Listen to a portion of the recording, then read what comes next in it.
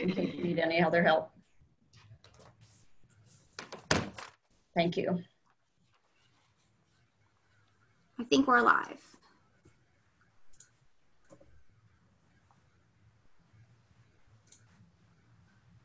Good afternoon, everyone. We'll get started in one minute.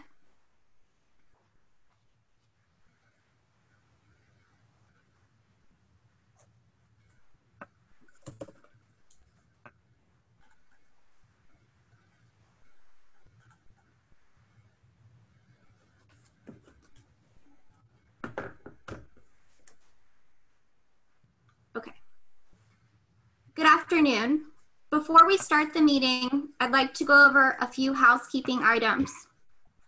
First, if you would like to view the captions or subtitles for today's webinar, please select closed captions in your Zoom menu bar. Second, to minimize, to maximize the amount of information we can share today, we will not be fielding questions. Presenters have provided their contact information and we encourage you to follow up with them directly after the webinar. Welcome, and I'm going to turn it over to Commissioner Hayfield. Good afternoon. And welcome to today's webinar, where together we'll celebrate the 2020 Best Practices Awards. Brave New World, this is a webinar, and we're so glad you could join us today as we acknowledge this year's wonderful winners. I am delighted to have the Virginia Department for Aging and Rehabilitative Services link arms with the Commonwealth Council on Aging and Dominion Energy to present this webinar. What a great partnership. Within DARS, I would especially like to thank the DARS communications team and our video teleconferencing staff for helping make this webinar possible. As we all say, it takes a village, and during this pandemic, we're all learning how to work together. So many of you have participated in the annual Best Practices Award ceremonies. This year, it's a bit different. In years past, the Council on Aging's annual Best Practices Award ceremonies were held all across the Commonwealth. They were actually on site of each of the winners. The in-person ceremonies gave programs and organizations an opportunity to host staff, volunteers, clients, elected officials, and others, along with representatives of the Commonwealth Council who traveled around the state to present the awards and highlight these exemplary programs. Well, as you know, in-person ceremonies are just not viable this year. The department, the Council on Aging, and Dominion Energy are here today to assure that we shine a light on the winners and share each of their wonderful stories. While we miss gathering together, we are together virtually, and there are some advantages to the webinar format. Not only can more folks attend the virtual event, and I know we had over 60 people registered for today, the webinar will also stay on the DARS YouTube page and be linked on the DARS Aging Boards and Councils page.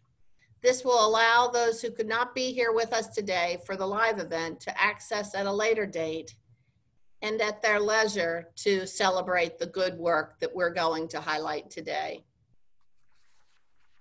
Before I hand it over to my colleagues, I would like to take a moment to acknowledge some of our esteemed presenters. Those joining us today are Bill Murray. Bill is Senior Vice President of Corporate Affairs and Communications with Dominion Energy. He has been a longtime champion of these awards, and we are grateful for his support and his advocacy so that Dominion Energy provides monetary awards for the winners.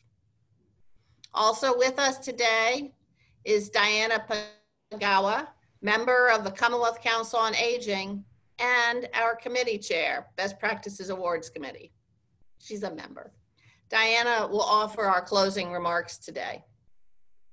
And last but certainly not least, the well-known and respected Dr. Richard Lindsay, former Commonwealth Council on Aging member and a chair of the 2020 Best Practices Awards Committee.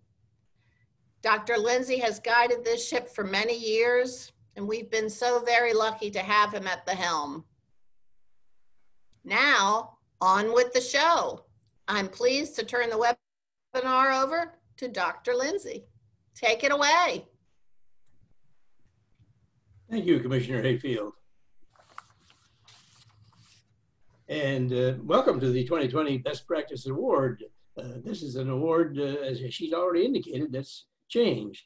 This is the first year we've had a webinar, and uh, it's an experience for all of us. At the same time, I think we're all excited about the possibility in the future we'll go back to where we were. I think I wanted to mention that uh, this whole thing was made possible because of Charlotte's uh, Arbogast good work in terms of getting us all linked together technologically along with Dave McKenzie. So I appreciate that. Let's go on to the next slide, uh, Charlotte.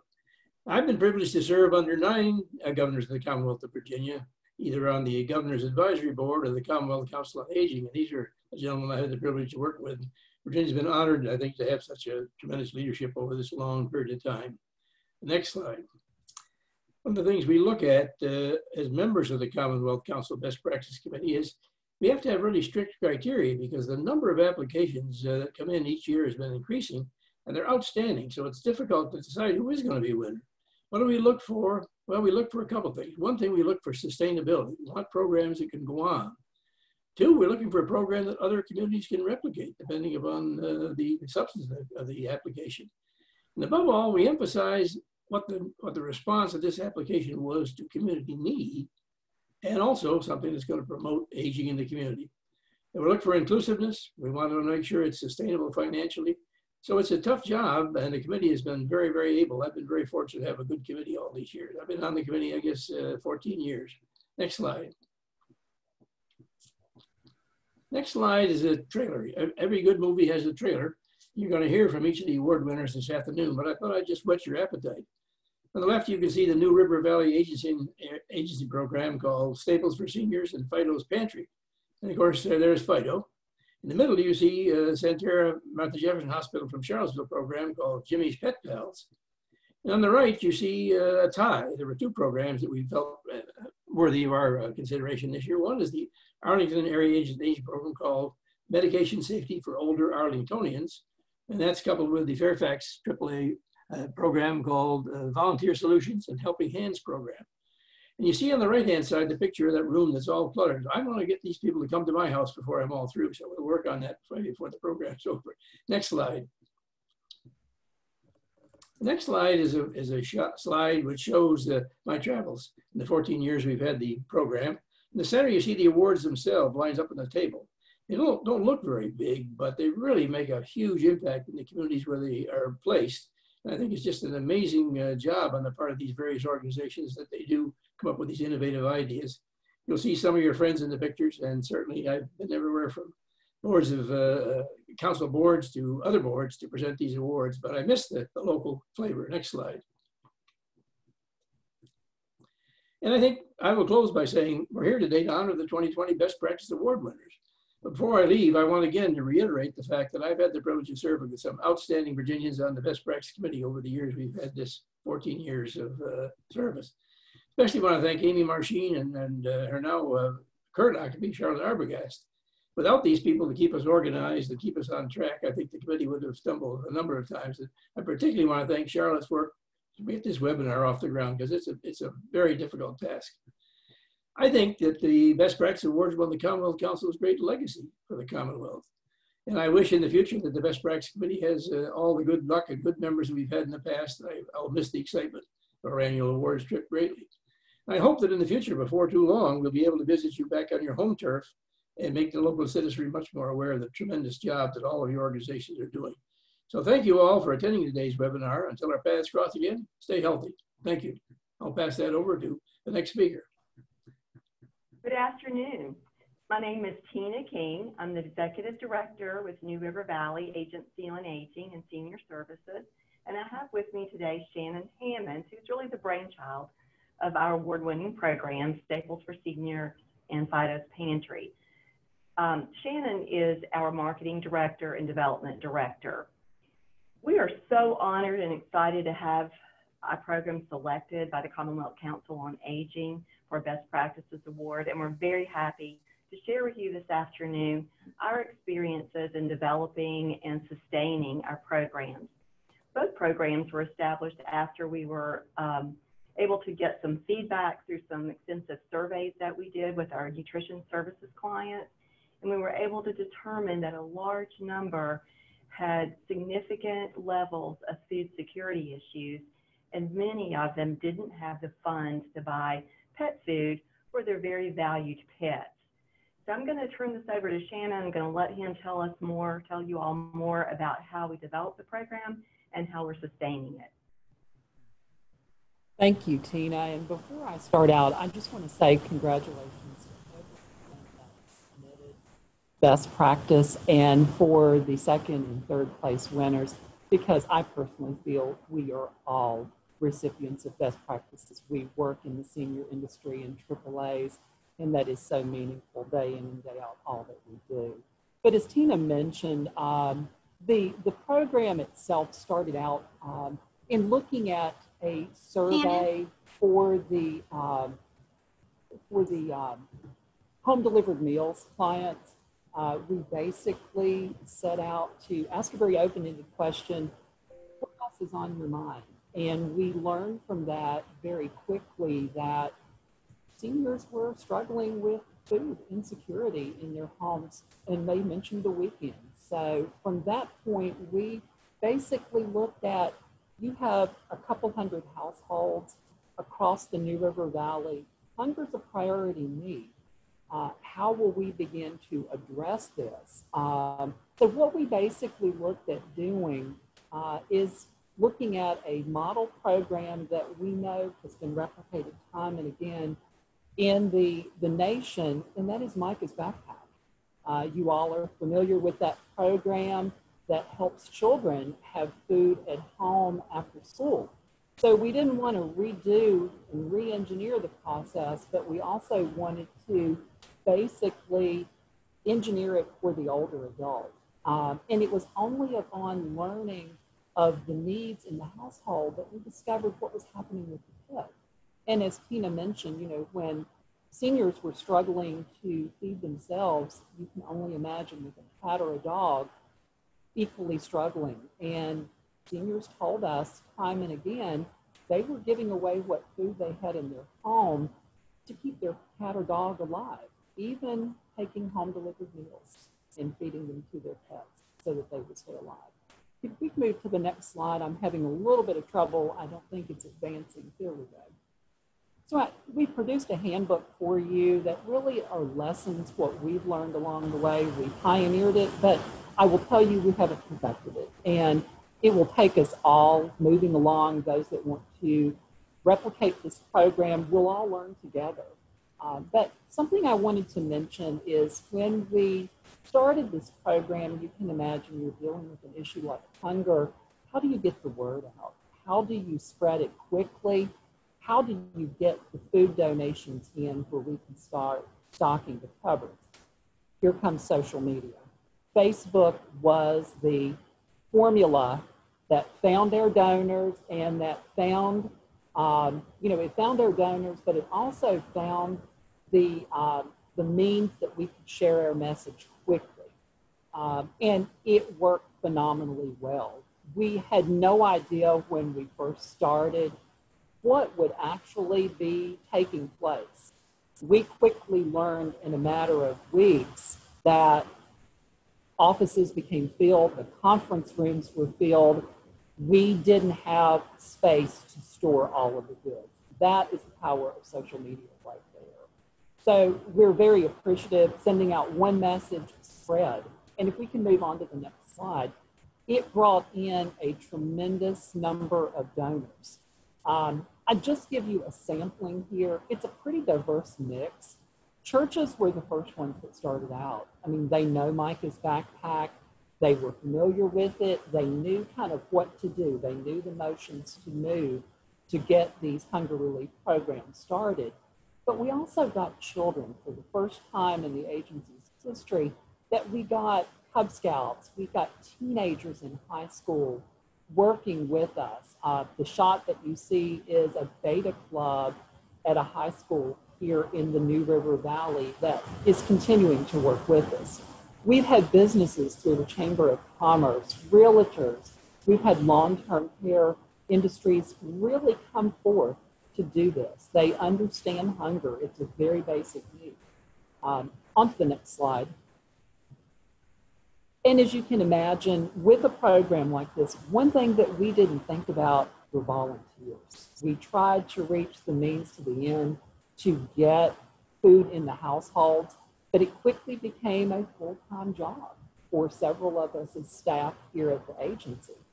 And you know, we realized we need volunteers to kind of help steer the train as we're moving it to help the New River Valley seniors. So we presently have 26 program volunteers. We've added two that specifically want to dedicate their time to Fido's Pantry.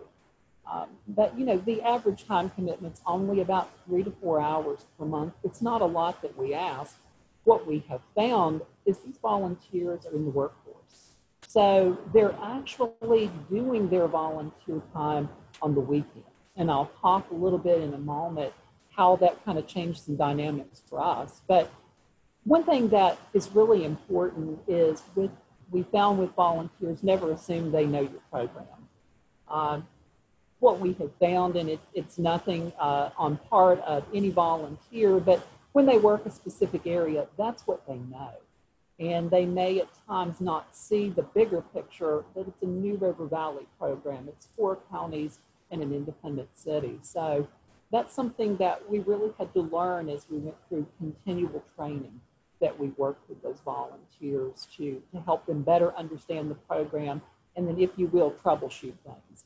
Um, on to the next slide. Budget, as you can see, it takes a diverse mix. Like it does volunteers, we have product donations, cash, grants, and donor designated funds. And I will say you need that mix to keep your program going. We're really pleased that we actually have all the proceeds coming in. It's 100% volunteer run. Okay, and on to our last slide. Lessons learned. I think one thing to look at is a calendar. Know where your gaps are from your holidays. You're going to run into some lean months in the beginning of the year. Also, kind of look at that calendar where money's going to come from. When are grants up for grabs? When do you need to be looking at your donor uh, engagements to raise more money for your program? Continue with social media. It is the best free tool that you will ever put your hands on. And we have fun with the program. You should look at our Facebook page and see the kind of posts that we put up. And then lastly, on to our last slide. And then I'm going to turn this back to Tina. Thank you, Shannon. That was a quick overview, as you know, but we would really encourage anyone who would like to know more about developing a similar program to uh, contact us because we have, thanks to Shannon, a very detailed how-to manual to get started and how to sustain things and to make it more successful. Um, we so appreciate, as I said before, this opportunity. We appreciate those who sponsored the award and and those, uh, the Commonwealth Council on Aging who sponsors uh, the Best Practices Award each year and are very excited with anyone who would like to learn more to just work with you. How do you visit in the future if that's a possibility or whatever works best um, to develop the program. Thank you.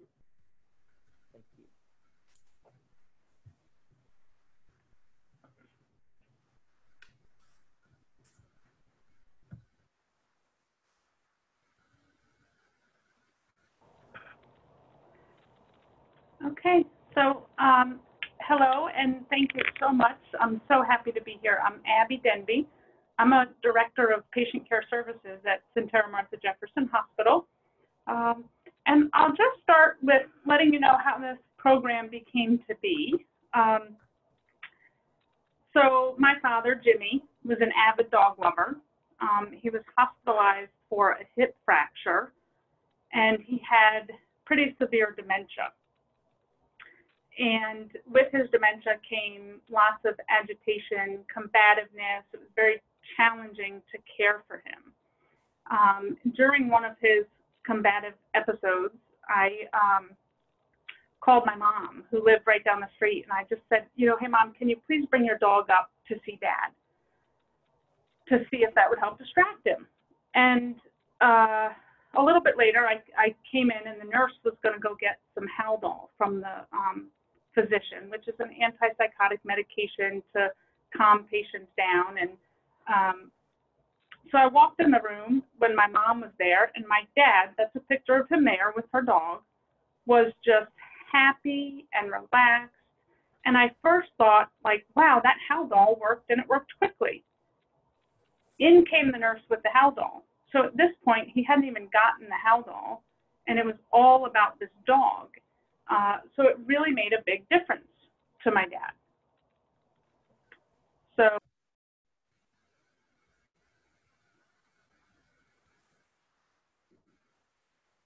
Abby, do you want me to advance it?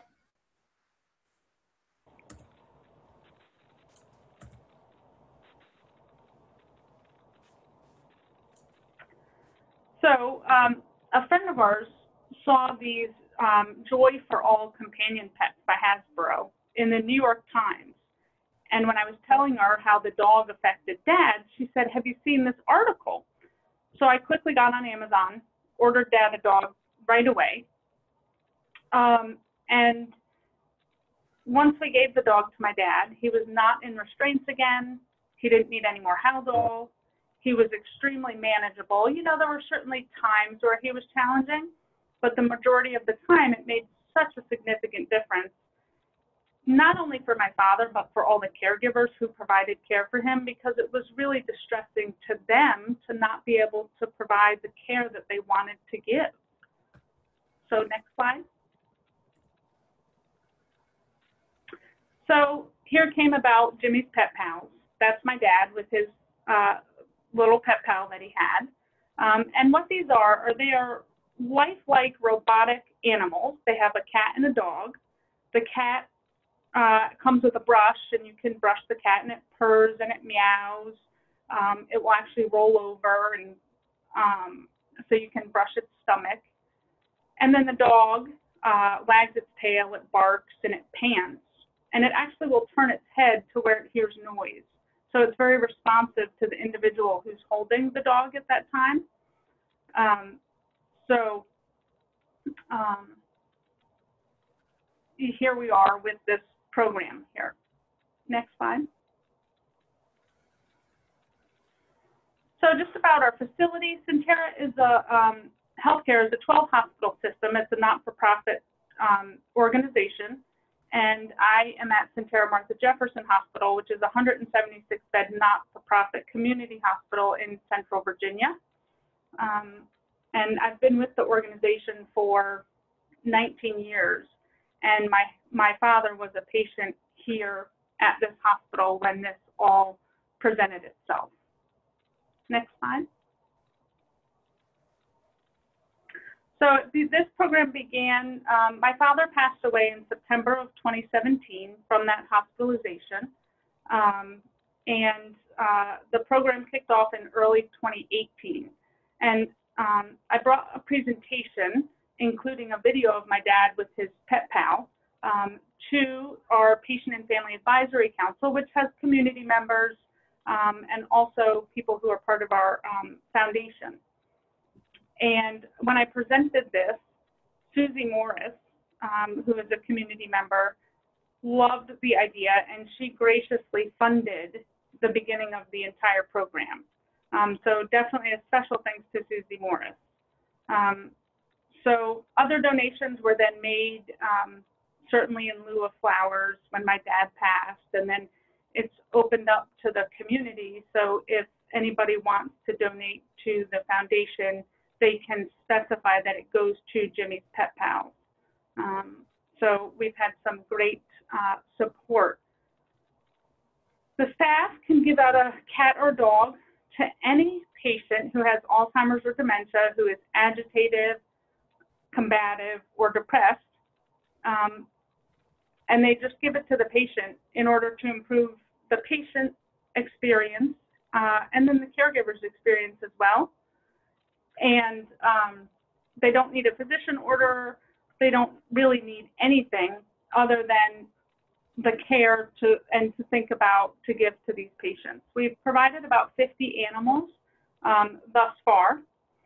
So uh, the only thing that is extremely important for everybody to remember is when you're giving out these animals, you want to make sure if the patient, one is an animal lover, and if they like cats or dogs. I always joke and say that if my husband was given a cat, he would think he died and didn't go to heaven. Um, but if he got a dog, he would certainly feel like he was in heaven. So it, it is important to get to know your patient before you provide these animals. So the next slide. So the program of um, impact it's had. So I've had so many family members, caregivers, and staff just talk about the program. Um, I had, I was at the nursing station of one of the units, and somebody said, "Oh, this is the person who started Jimmy's Pet Pals," and her mother had gotten a cat, and she ran up to me and gave me a big hug, and she just started crying, and she said, "You know, it's the first time she has eaten in weeks. She is just so happy." Um, you know, people have said the dog settled them down, they're peaceful and relaxed, or, you know, I've been able to provide care much easier to my patients now that they have that pet pal. So we've gotten a lot of just anecdotal feedback. Um, and then the patients can also take these animals with them. You know, we they're theirs to keep because we can't clean them. Um, so I hope certainly that the impact goes well beyond the acute care setting. Next slide. Um, so for future of the program, because a lot of the, all of the data that I have now is just anecdotal and, um, you know, word of mouth. So I am doing a pilot study to measure agitation level through a Pittsburgh agitation scale um, before the patient gets the pet pal and after um, every four hours for about 24 hours.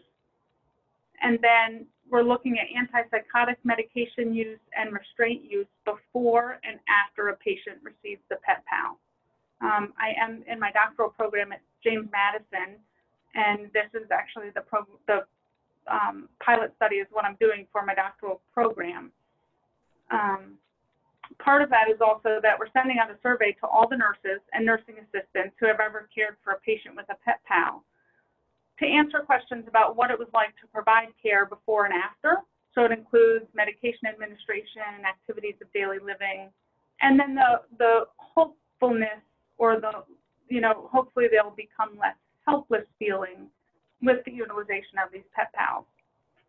So the pilot study is underway, and so the results are pending. Um, but I've also gotten accepted to a national conference to um, submit the findings, which is exciting because I think just the more places that can be presented, hopefully people will replicate the program. Um, the pets are $100 each. So at this point, the foundation will continue to cover that here at Sentara Martha Jefferson. Um, and certainly the generous award from this program um, will fund, you know, at least 30 more of them. So thank you so much. Um, and we will just continue to to provide the service and, and um, hopefully just get the word out so more and more people can start this. You know, you see it a lot in long-term care facilities, but if you review the literature, there's, I, I wasn't able to find, I think I found one hospital that was using them in the ICU, but that's about all the literature is about using them in the acute care setting. And, you know, it's just made a significant difference here and um, you know, I think just in memory of my father, it, it, you know, certainly brings me great joy to see this program continue. Next slide. So here is certainly my contact information, and again, special thanks, like I said, to the Commonwealth Council on Aging and Dominion and the committee, you know, for uh, allowing the staff at Martha Jefferson to continue to bring joy to all. Um, and there's my contact information. Um, there's also a link there uh, that if anybody clicks on it, you can see my father with his pet pal um, and his interactions with it. So Um, thank you so much, and I'm really happy to have had this opportunity.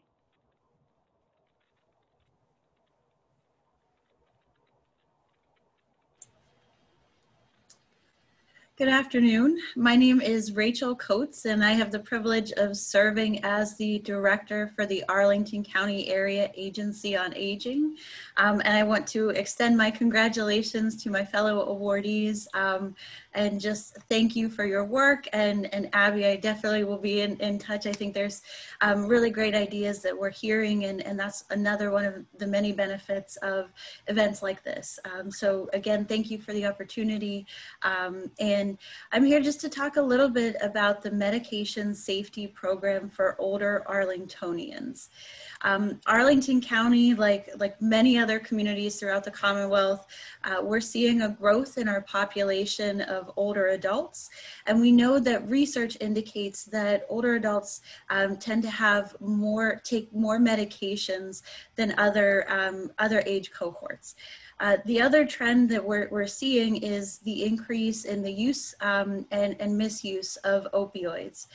Um, the Arlington Agency on Aging really sought, saw this as an opportunity to raise community awareness and provi provide resources to safely discard medications. Um, we looked at uh, what are some of the natural points um, and potential sort of touchstones where older adults may be um, limited in safely discarding their medications um, or where we're already collecting some of this information where because of an assessment or eligibility, we may be asking um, for a list of, of medications.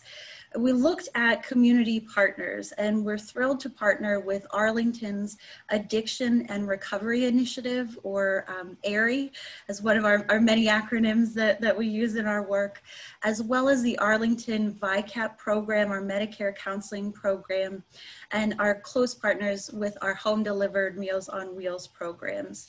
We also looked at some of the partnerships with our first responders um, and, and opportunities to partner in terms of prevention, outreach, training, and education around the safe disposal of medications.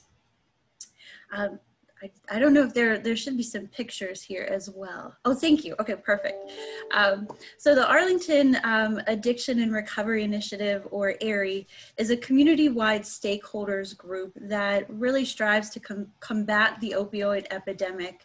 Um, and we reached out, the AAA reached out to ARI um, to look at delivering drug deactivation kits um, as part of our meal delivery through our Meals on Wheels program.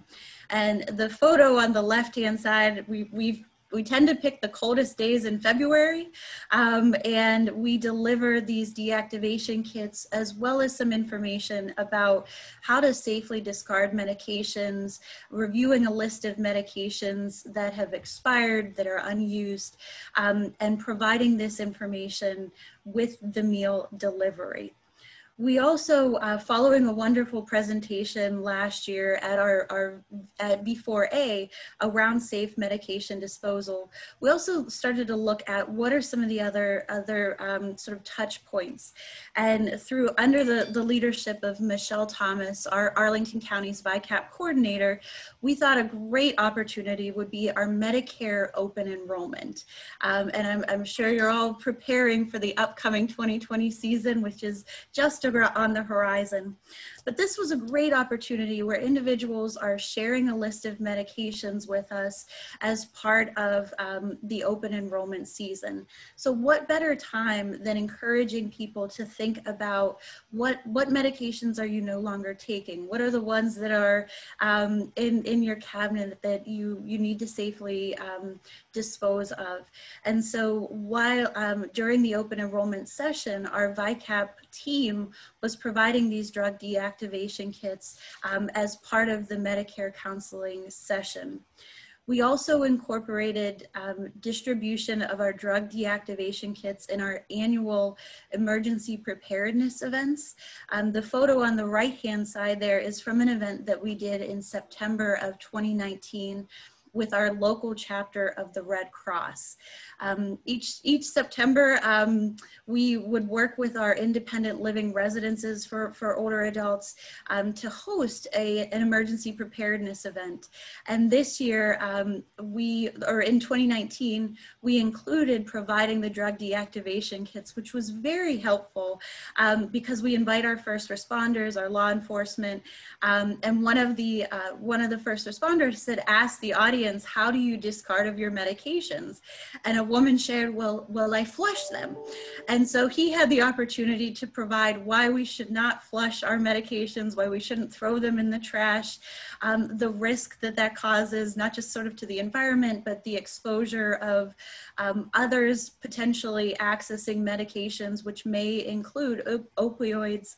Um, so we were able to provide these drug deactivation kits. As you can see from the pictures, um, they're pretty small, they're pretty contained, but it is a safe way for individuals who may have some challenges getting to one of our um, one of our physical locations to discard their medications. It's providing them with those opportunities because of this partnership, our, our Meals on Wheels programs, as well as our VICAP programs, have really benefited from this partnership with ARI.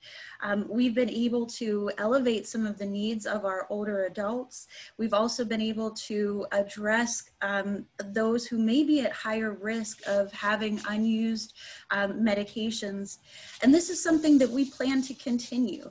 Uh, this is a, a, great program, and um, I encourage anyone who is not connected with their, their local community services board um, or, or mental health, behavioral health program to reach out, make a connection, even if it, it, it may be your, your local law enforcement. Um, but many of the community services boards have drug deactivation kits that they are willing and, and able to provide um, through our partnership with, with ARI. There was no cost. Um, it was just um, retrieving the drug deactivation kits and, and finding the ways that we can distribute them into the community um, so that our, our older adults have a way to safely discard their medications. Um, but like all of our programs, we know that um, AAAs, we, we don't operate in, in silos. And so I just want to take a moment to thank our, our many partners um, within the AAA, Helen King and Gloria Basiri, within VICAP, Michelle Thomas, our, our VICAP coordinator, and then our partners at ARI, um, Emily Sfinkland, Suzanne Somerville, Lynn Ling, and of course our, our Meals on Wheels Arlington partners. If anyone does have any questions, you are welcome to connect with me. Um, but this is a, um, a, a, simple program that I think has a potential um, to really have a, a, a significant impact. Thank you.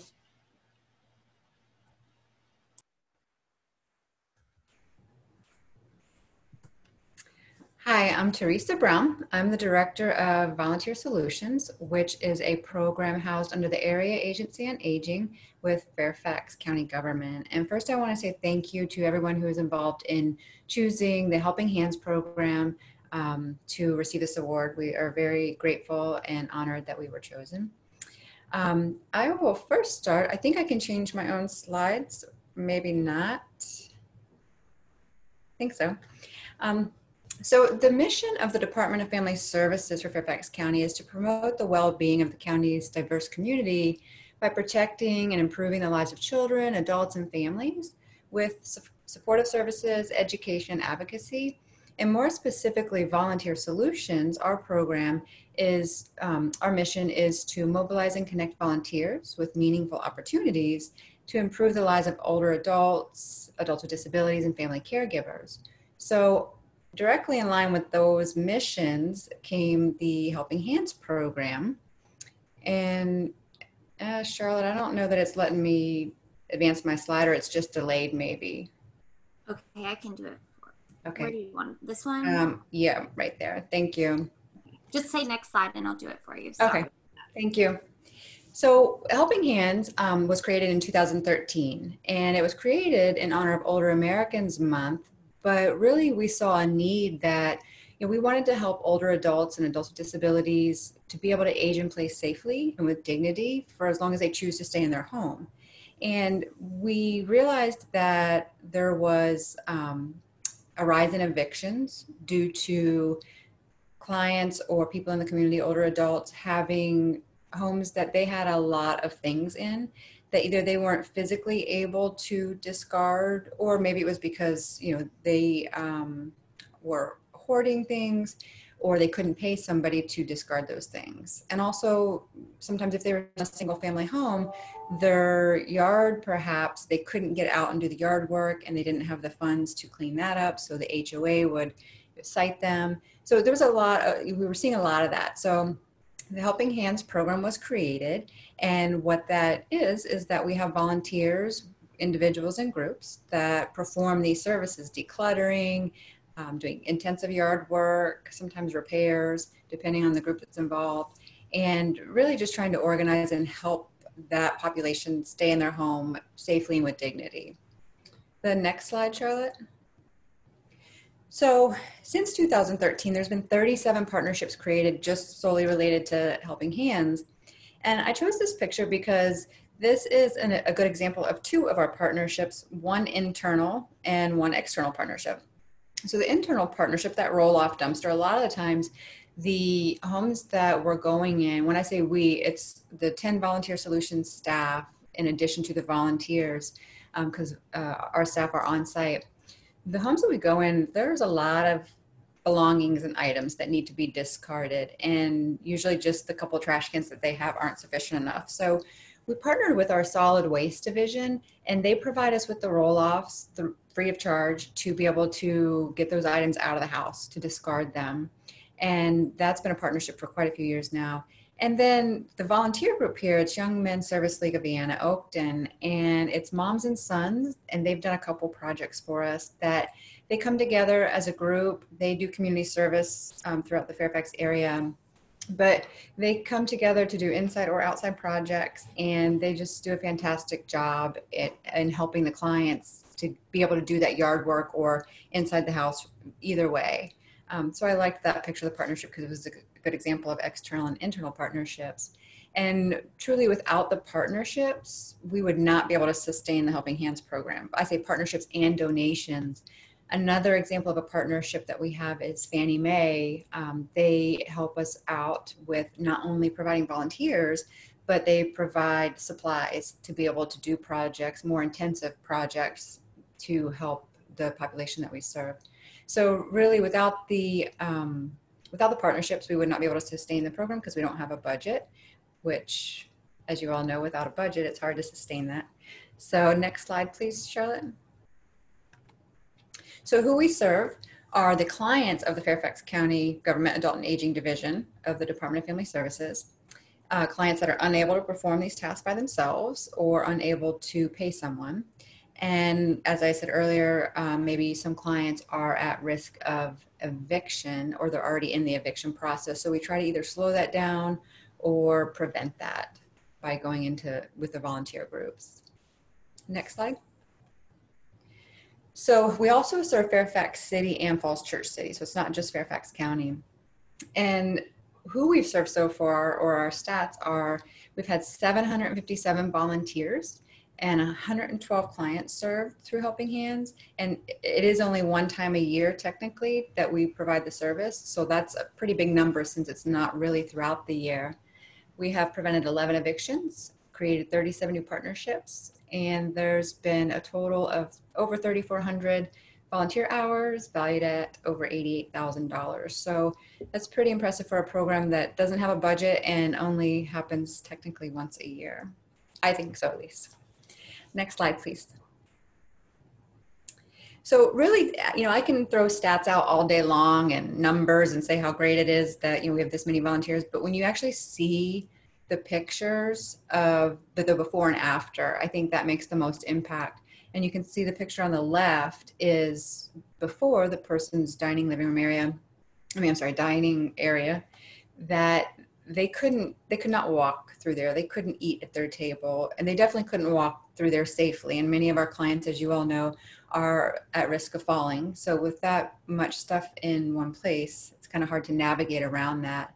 And really these are one-time projects. So volunteers go in with the volunteer solution staff usually you know like a couple hours in the morning or a couple hours in the afternoon maybe four hours with a group of volunteers, and that's what they can accomplish in that little bit of time. So they just, our volunteers continue to amaze us with, you know, how willing they are to get in there and just start working and what they accomplish in that amount of time. Next slide. So this is an example of an outside project. Uh, we had a client who she still had a single family home. She had trouble getting around, but she really enjoyed being outside and did gardening and just liked, you know, piddling around in the yard. But she just accumulated a lot of stuff over time and she physically couldn't get rid of it. She didn't have anybody in the area to do so. So as you can see, um, one afternoon we were able to just clean it up so that she could go out and enjoy the outside of her home and just, you know, do what brought her her pleasure. And next slide. So again, if you look at the top left picture, it's not only about preventing evictions, but a lot of times there are code enforcement or code enforcement is already involved or is soon to be involved. And clearly when you have items that are stacked that high, that is a safety hazard for anybody, much less an older adult who might have trouble getting out if there's a fire or something. Um, so on the right of that, you see after how much was removed from that area so that the client could have an open free space free of clutter that code enforcement wasn't going to cite them for. Same with the bedroom. The bedroom obviously not as bad as the other room. Um, but you know really it takes all 10 of our volunteer solutions staff in addition to their regular jobs to make helping hands happen in addition to those partnerships i was talking about and the the volunteers we would not be able to do it without that combination of everybody involved. And that is how we sustain the program. Uh, last slide, I think. So if you, you have questions or want to learn more about how we got the program up and running or sustain it, I'm happy to talk with you about it further and you have my contact information. And again, I appreciate that Volunteer Solutions was recognized for, for helping hands. Thank you.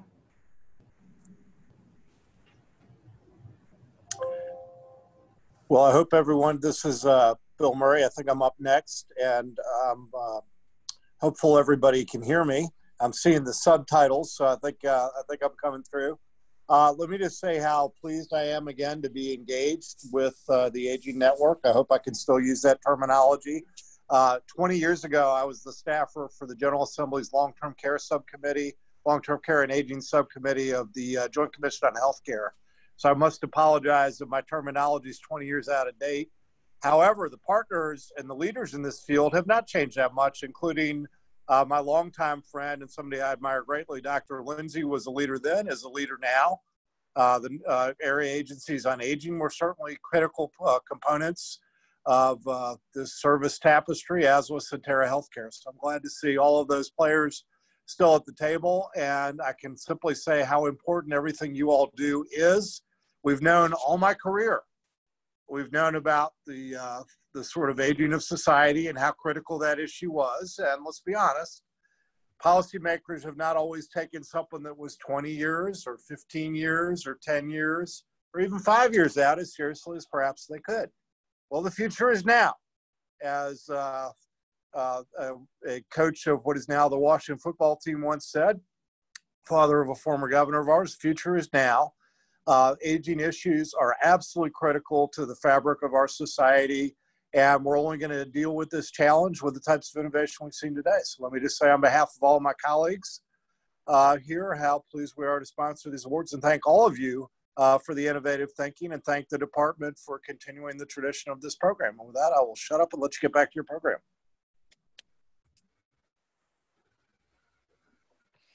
Uh, my name is Diana Pawaga. I am a member of the Best Practices Committee member.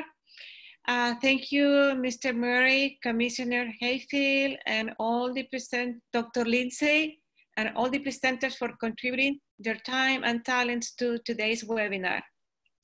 I should be remiss if I did not also take a moment to highlight the three honorable mention programs from this year. And they are Longevity Project for a Greater Richmond for its Housing Stability Learning Labs, Senior Connections, the Capital Area Agency on Aging for its Right Connections program, and Central Virginia Alliance for Community Living for its Take Charge Care Transition Intervention.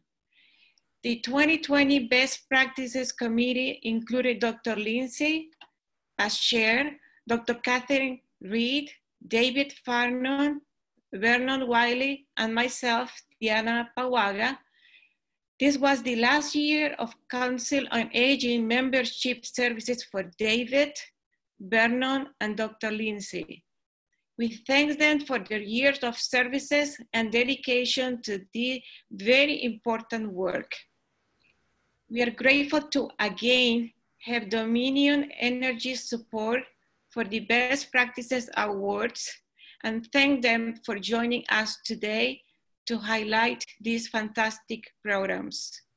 This, this webinar will be archived and made available on the DARS YouTube page and linked on the Council on Aging's website. We hope this will continue to serve as a resource for those around Virginia interested in learning more about these wonderful programs and possibly seeking to replace them in their communities, to replicate, sorry. As we conclude the 2020 Best Practices Awards, and in the coming month, this very bizarre 2020 calendar year, the Best Practices Awards Committee is already starting to look to 2021. Committee members will be working closely with DARS staff over the next few months to prepare for the 2021 nomination process. Information about how to apply or how to nominate a program will be posted on the Council on Aging's website in mid-January 2021. The committee received 20 applications this year, making the awards very competitive. I have no doubt that as organizations and programs have adapted and responded to the COVID-19 pandemic and to meet the needs of older adults across the Commonwealth, that the 2021 Best Practices Award will also produce high quality and vital programs for recognition. I mean, 2021 best practices. Thank you all for joining us today. And this concludes the webinar. Thank you so much.